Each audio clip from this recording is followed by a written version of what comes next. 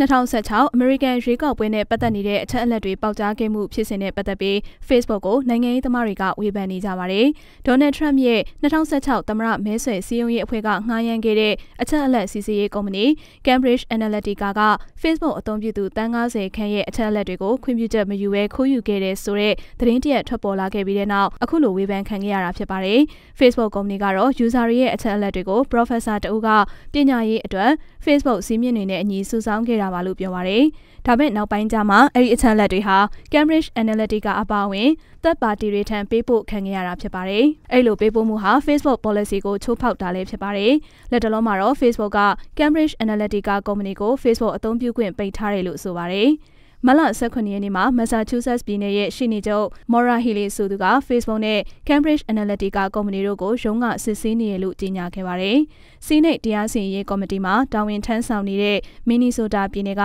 Democratic အမတ် Amy Klobuchar ကလည်း Facebook CEO Zuckerberg အနေနဲ့စီးနိတ်တရားစီရင်ရေးအဖွဲ့ရှေ့မှောက်မှာတက်သေးထွက်ဆိုတင်ကြောင်းနဲ့ဒါကိုကြည်ကျင်အဖြစ် social media တွေကိုယ်တိုင်ကထိမ့်သိမ်းကြက်မှတ်မှုမလုပ်ဆောင်နိုင်တာကိုပြနေကြောင်း Twitter မှာမလ18ရက်နေ့ကဖော်ပြခဲ့တယ်လို့သိရပါတယ်။ Facebook ကနေရက်ဆိုင်ပစ်လိုက်တဲ့အကောင့်တွေထဲမှာ Cambridge Analytica ကုမ္ပဏီရဲ့အကောင့်အပြင်၎င်းရဲ့မိခင်ကုမ္ပဏီဖြစ်တဲ့ Strategic Communication Laboratories ရဲ့အကောင့် Cambridge တက္ကသိုလ်ကစိတ်ပညာရှင် Alexander Kogan ရဲ့အကောင့်နဲ့ Unoya Technologies ကုမ္ပဏီတည်ထောင်သူ Christopher Wiley ရဲ့အကောင့်တွေလည်းပါဝင်နေတယ်လို့သိရပါတယ်